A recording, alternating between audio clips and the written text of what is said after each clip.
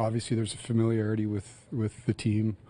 I wasn't here with them before, but in speaking, I spoke to a few of the players. Obviously, speaking a lot with Sheldon, the coaching staff, there's a familiarity of where he fit in. His last time here as a teammate, I spoke glowingly about a teammate, how he fit in with the group.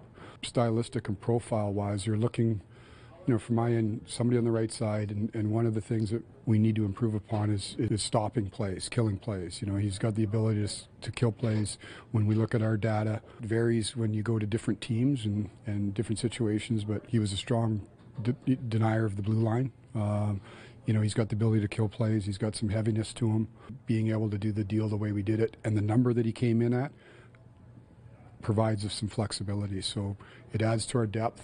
It, it gives us a body in a position of need. Allows us still to to seek other opportunities over the course of the next week.